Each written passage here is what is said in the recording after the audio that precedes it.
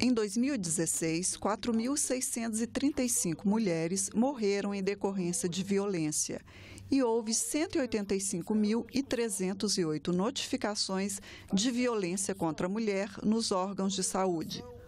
Os dados estão no painel de violência contra as mulheres, ferramenta lançada este mês pelo Senado, que reúne diversas fontes de informação sobre o assunto. Para ajudar no combate às agressões contra as mulheres, o plenário do Senado aprovou o projeto que deve obrigar o condenado por qualquer forma de violência doméstica ou familiar a ressarcir o Sistema Único de Saúde pelos custos no atendimento às vítimas.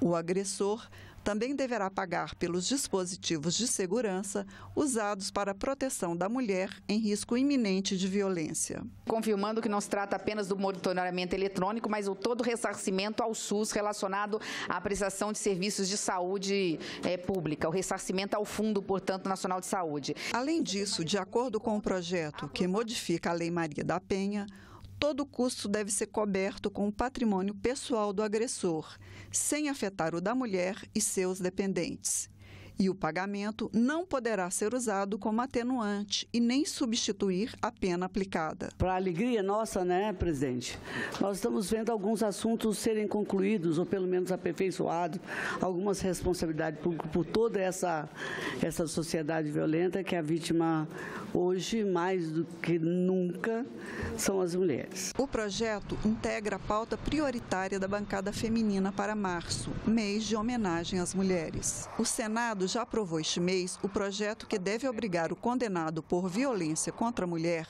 a ressarcir os cofres da Previdência Social por benefícios pagos em decorrência desse crime. Outra proposta aprovada impõe multa quando houver violação do direito à amamentação em local público ou privado. Os textos foram enviados para análise da Câmara dos Deputados. Aguardam ainda votação no Senado propostas como a que permite que delegados e policiais decidam, em caráter emergencial, sobre medidas protetivas para atender mulheres em situação de violência doméstica e familiar. E determina também o imediato afastamento do agressor do local de convivência com a vítima.